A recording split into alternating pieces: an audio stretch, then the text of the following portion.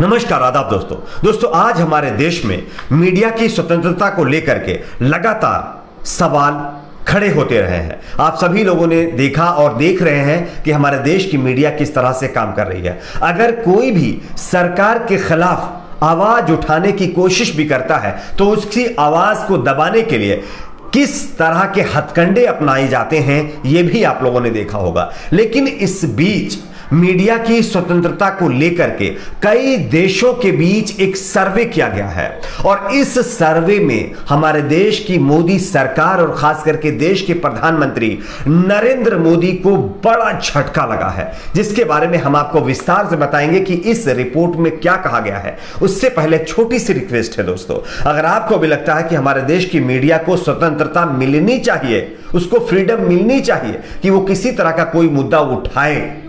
अगर आप भी ऐसी मांग करते हैं तो वीडियो को लाइक करके चैनल को सब्सक्राइब ज़रूर कर लीजिए। वैसे हमारे देश की मीडिया भी आप सभी लोगों ने देखा होगा किस तरह से काम करती है।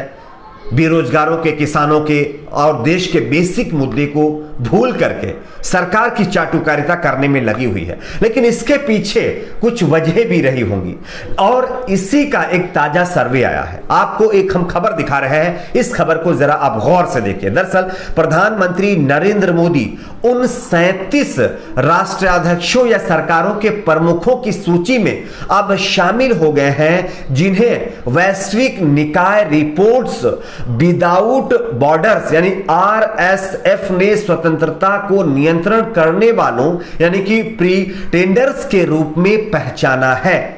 इसमें बताया जा रहा है कि दरअसल रिपोर्ट्स रिपोर्ट्स बताउट बॉर्डर्स ने प्रेस स्वतंत्रता को नियंत्रण करने वाले सैतीस राष्ट्र अध्यक्षों या सरकार के प्रमुखों की सूची जारी की है, जिसमें जो नाम सामने आए वो चौंकाने वाले हैं। सबसे पहला नाम है उत्तर कोरिया के जो तानाशाह है, किम जोंग उन दूसरा नाम है पाकिस्तान के इमरान खान। उसके बाद आता है नाम हमारे देश के प्रधानमंत्री नरेंद्र मोदी जी का। रिपोर्ट के अनुसार अनुसार ये सभी वे लोग हैं जो सेंसरशिप तंत्र बना करके प्रेस की आज़ादी को रौंदते हैं, पत्रकारों को मनमाने ढंग से जेल में डालते हैं या फिर उनके खिलाफ हिंसा भड़काते हैं। ये मैं नहीं कह रहा हूँ, ये रिपोर्ट कह रही है, जिसमें देश के प्रधानमंत्री का भी नाम आया है और ये गंभीर आरोप उनके ऊपर भी लगा है। आपकी अपनी क्या राय नीचे कमेंट बॉक्स में ज़रूर बताइए वीडियो को लाइक, शेयर, चैनल को सब्सक्राइब